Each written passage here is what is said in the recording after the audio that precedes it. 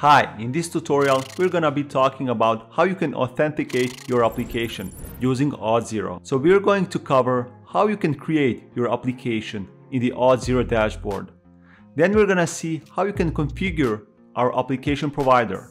You will learn how to log in using Auth0, how to log out, and how to get an access token for your API requests so that you can ensure that your endpoints are authenticated and that your user has the authorization rights to access them. And you will be amazed how easy and straightforward it is to work with this library. So let's jump right in. Code with Sloba. And as I already said, we're gonna use Auth0 to authenticate our application here. So make sure to go to auth0.com and to create account. So you can just click here on sign up and I already created my account using Google here. So I can close this tab and I will open up my dashboard. So once you have created account, you will get a dashboard something like this. So what you want to do now is you want to create your application. So make sure to go over to here on the left side and click on the applications tab and you can click on the applications here. And now you can create your application by clicking here, create application. And you need to choose an application type here. For this tutorial, we're going to use single page web applications. So you have different frameworks here like Angular, React, and Vue.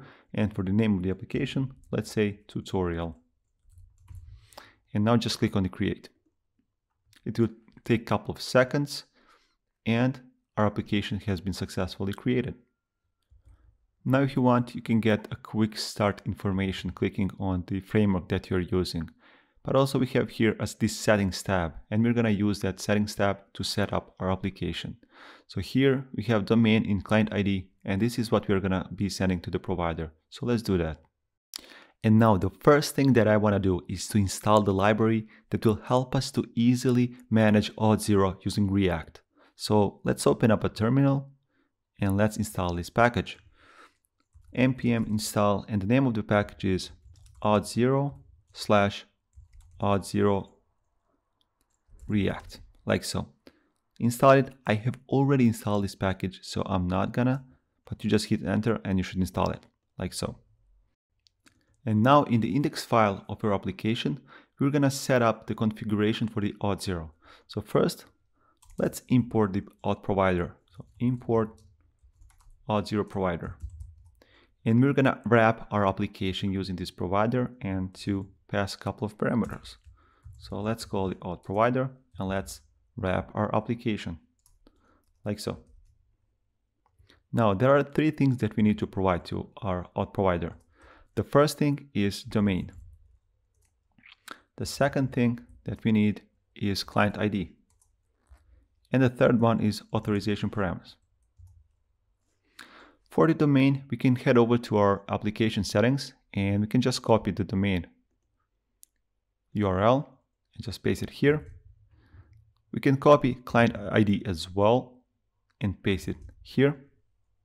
In your real life application in production ready, you would probably want to store this in a separate like environment file. But for this tutorial, we're just gonna place it here. And for the authorization params, once the user has been successfully logged in, we want to redirect them back to the application itself. So redirect underscore URI and we want to say window.location.origin. So just redirect them back to our application. And with this, we have configured our Auth0. Nice. And now just make sure to, in your application, you need to add the URL of your application so it's allowed to redirect back there. So on the settings tab, just scroll down and you can find this allowed callback URLs. So just paste your application URL. For this case, it's localhost 3000 and just scroll down and click on save. Save changes like so. And it will take a couple of seconds or actually 30 seconds uh, before they can take effect. But now let me close this application details. Let me open up our app. And now let's see how we can use this Auth0. So in the app component, I'm going to be implementing this. We're going to be implementing this Auth0 using the hook from the same library. So let's import use Auth0 from auth0 auth-react. So this is the hook that we're going to be using. And now let's initialize this hook. This hook gives us quite some functions, but let's start with login first. So let's destructure the object that we are getting back from this use auth0. And let's use the first one, which is login with pop-up. So now in order to be able to log in, let's create a button where we can log in. So let's just create a button here, which will say login and on click, we're just gonna call our login with pop-up. So let me copy this function and let's just call it. So now let's save it and let's refresh the application. And now we can click on this login and we get this pop-up. So if you're getting the error like I am here, what it basically says is that you are not allowing the client to access your application from a specific URL. In this case, this is localhost 3000. So we need to set up that. Go to the application settings once again, and under the settings tab, you want to scroll down and you want to find this allowed web origins. And here you want to set the localhost 3000. Now click on the save on the bottom of this and this, this can take 30 seconds, but usually it's very fast. So now let's close this again and let's refresh the application and let's try once again to see if it works now. So click on the login. Once again, we get this pop-up, but now we're getting this authorized app. So here I'm gonna use this account from the Google and I will just click on the accept, which will authorize my profile.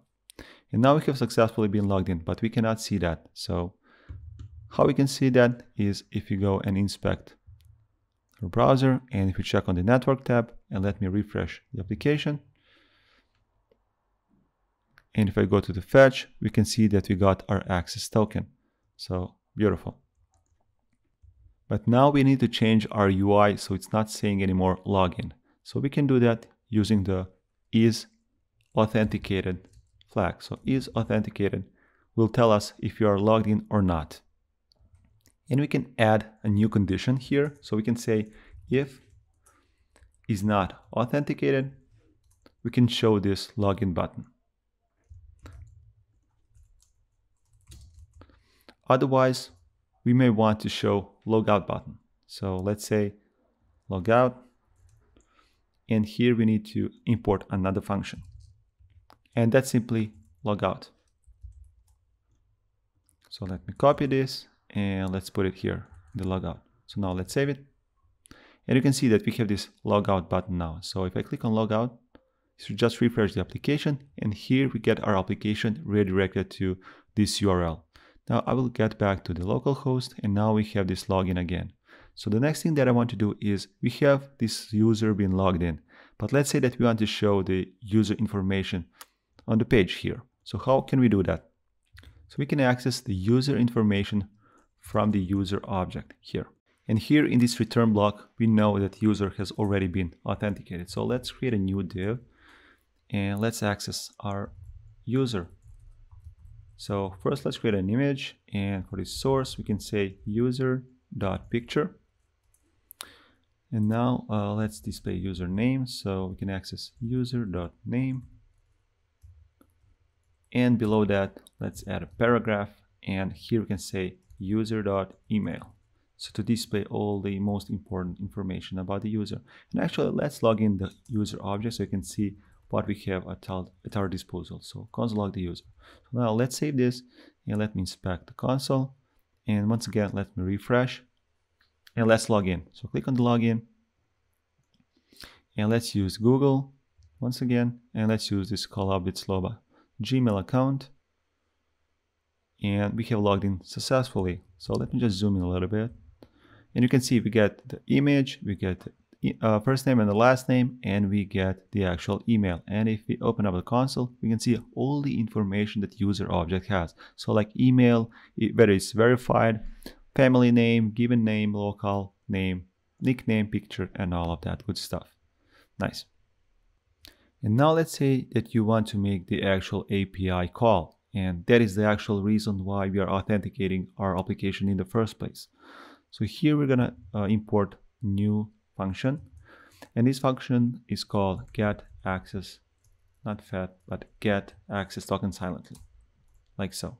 So now let's create another button below this, which will just simulate, or actually which will trigger an API call. So let's add this text call API, and let's add a new onClick event handler. OnClick, and let's call this method as handle API call.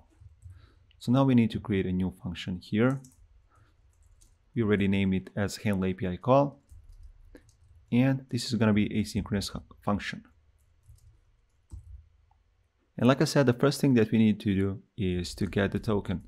So let's create a new constant and let's name it token. And now we need to call our asynchronous operation here and we need to wait for the result. Now let's just console log what we are getting. So let's just console log the token that we are getting back. Token and let me open up the network tab once again or the tools and I can remove this user so it's not confusing us. And let me refresh. And if I click on the login once again, we get logged in. And if I click on the call API, we get this token here in the console. And this is the token which you can use to send along with your API request and make them authorized. Now this is a general token that we are getting for our application, but you can provide a couple of properties to your get access token silently function in order to get a token for a specific endpoint and to give a scope to your user. So we need to provide these authorization parameters here. And there are a couple of things that you need to provide here. The first one is audience. And this is basically the endpoint of your of URL of your endpoint. So like HTTPS, and here you would provide like fake API but you would put like the real API endpoint. And the second thing is the scope. So you want to set the scope for your current user. So we can say read current underscore user. And with this, you can limit what your token is for. So let me save this and let's try once again to make a call. Obviously, we don't have this real API endpoint, so most likely we're going to get an error. Server is not found. And as you can see, it says HTTPS fake API version 2 server is not found. But this is how you can set the token for a specific API and also to scope your current user. With having said that, this is pretty much all what I wanted to show you in this tutorial and to show you how easy, straightforward it is to use the Auth0 with React and authenticate your applications. So please let me know in the comments if this was helpful and what would you like to see in the next tutorials. And if you want to support my channel and get a full source code of every single video that I'm doing, feel free to check out patreon.com code with Sloba to get full access. See you there. Well, that's all for this React video. And stopping by. And don't forget to subscribe. Code with Sloba. Thank you for watching the entire video. To see more React tutorials, click here.